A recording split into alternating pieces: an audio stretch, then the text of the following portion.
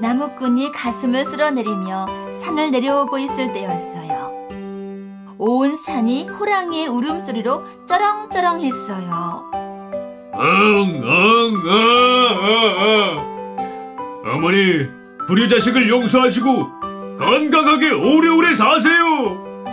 아우야, 못난 형 대신 어머님을 잘 모셔라. 어흥!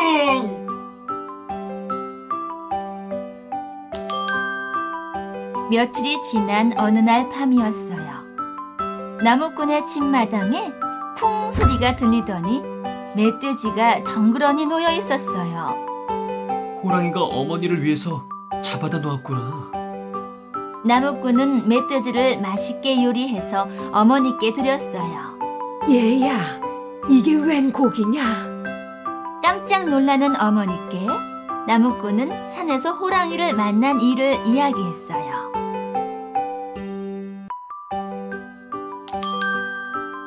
이듬해 가을, 어머니는 병을 앓다가 세상을 떠났어요. 나무꾼은 어머니 무덤 앞에서 어머니, 어머니! 하고 울부짖었어요. 그 모습을 숨어서 지켜보던 호랑이는 가슴이 찢어질 듯 아팠어요.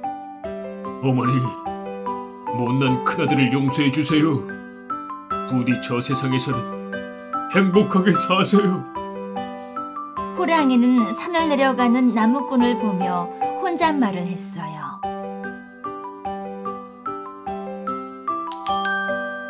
그 후 보름 때마다 마당에 놓여있던 멧돼지를 볼 수가 없었어요.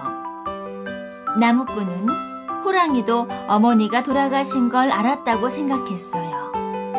그로부터 며칠이 지난 어느 날이었어요. 나무 하러 가던 나무꾼은 꼬리에 하얀 뿔을 달고 있는 새끼 호랑이들을 보게 되었어요.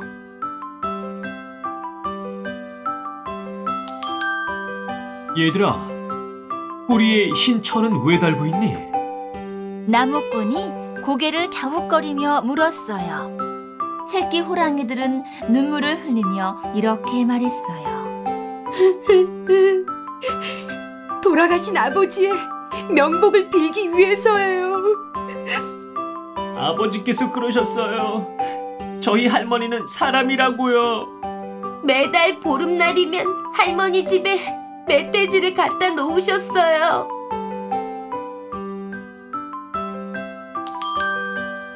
그런데 할머니께서 세상을 떠나자 아버지는 굴 속에서 어머니 불효자식을 용서해 주세요 하고 울기만 하셨어요.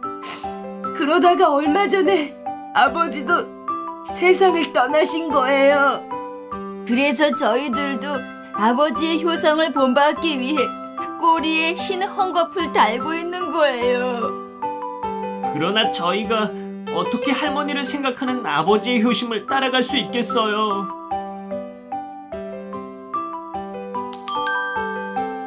나무꾼은 새끼 호랑이들을 끌어안았어요. 호랑이의 효심이 사람보다도 훨씬 낫구나. 나무꾼의 눈물이 볼을 타고 주르르 흘러내렸어요.